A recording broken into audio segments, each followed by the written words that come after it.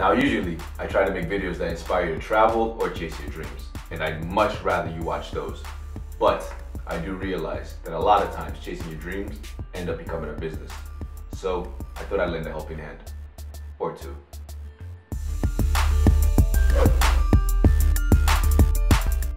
Okay, so we are still on loan types. Let me pick this up, loan types. And now we're talking about amortized loans. What are they? They they're the loans that you're most likely more familiar with, but you probably don't realize it. Uh, your mortgages are structured this way. Uh, student loans are structured this way. Uh, basically, loans that everyday people experience. Uh, and what it basically entails is that the borrower is going to be paying off the interest, a mix of the interest and the principal over the span of um of the the, the loan. Okay, so the payments you're going to be making it's going to be a mix of the principal and the interest. So let me just give you a quick example. Let's just draw this out really quickly, and I'm going to compare. Um, I'm going to use an example. So I'm going to say that we're borrowing a hundred thousand dollars. Actually, no. Let's let's let's keep it.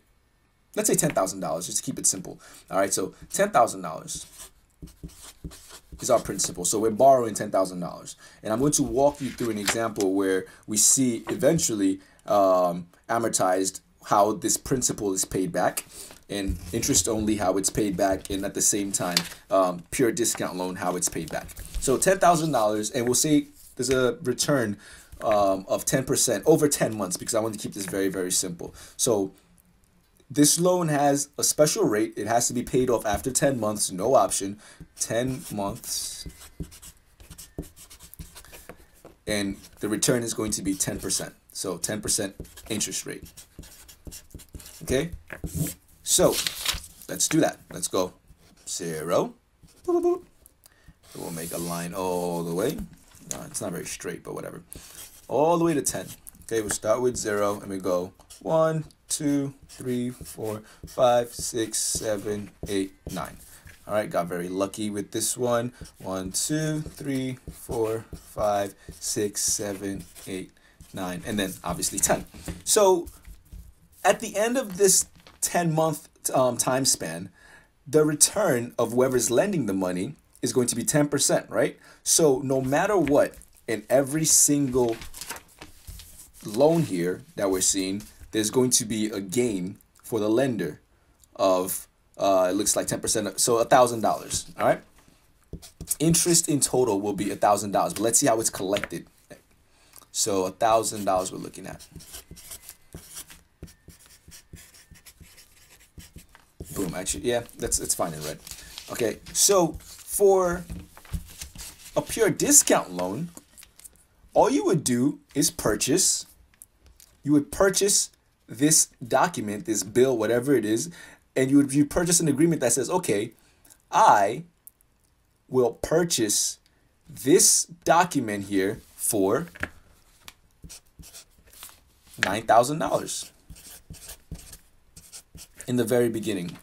But at the end of 10 months, you must give me $10,000. All right? That's that's this more or less how it would work. Okay? So you would get back a um you would you'd pay $9,000 but you would get back $10,000. So that's if you were the person lending the money. Correct? Now, if we're talking about the next type, interest only loan, I'm again that factory owner and I need to raise some money. So you come up to me, you purchase one of my bonds, and I agree. You give me $10,000 for the piece of paper. And then what I do is I make payments. I go, all right, here's a here's a hundred dollars. Here's another hundred dollars. Here's another hundred dollars.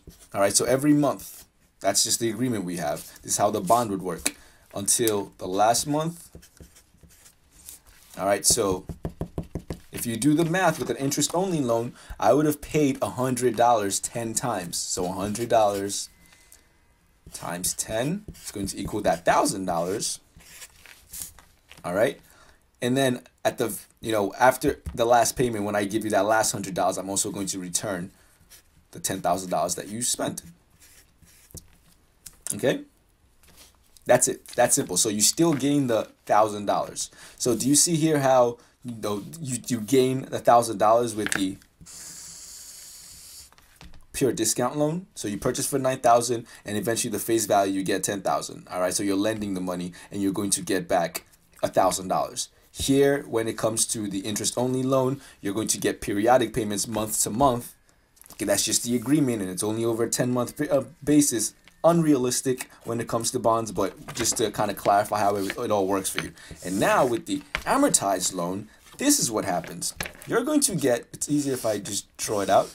One, two, three, four, five, six, seven, eight, nine, ten. Okay, da da da. I'm excited to do this one. So each bar here is the total amount of money you're paying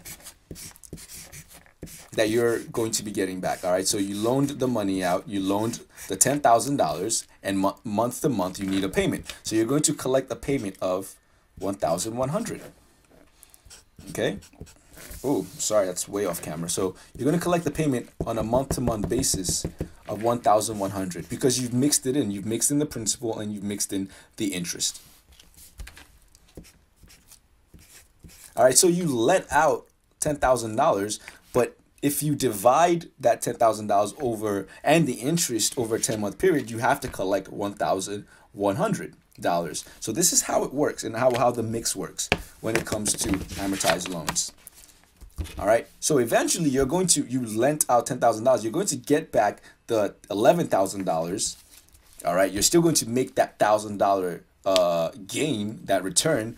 But this is what happens. The person you lent the money to pays more of a chunk of interest in the beginning and then they start paying off the principal. All right. So here, in the beginning, they're mostly just paying off the interest. All right. So we'll say the red is interest. See how it's getting smaller and smaller? They're paying less and less interest as time goes on. All right. And then as time goes on at the same time, they're paying off principal. So the green represents principal.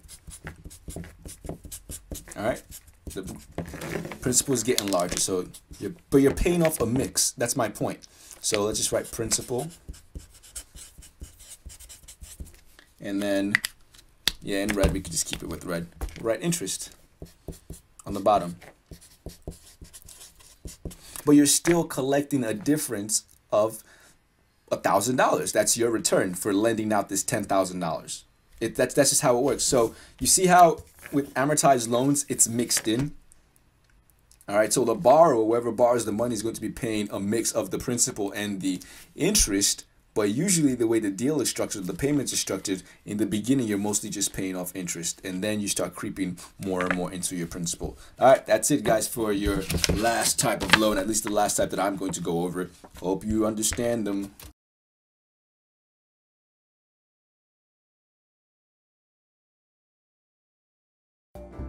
Thank you so much for watching. Turning a dream into a reality usually ends up becoming your business. That is why we have the Helping Hands videos. Subscribe, like, and feel free to leave a comment below. Don't forget to follow us on Twitter and Instagram. Fans of Kindness, our Facebook page, is also waiting for you. See you in the next video. Until then, be your best and never stop learning.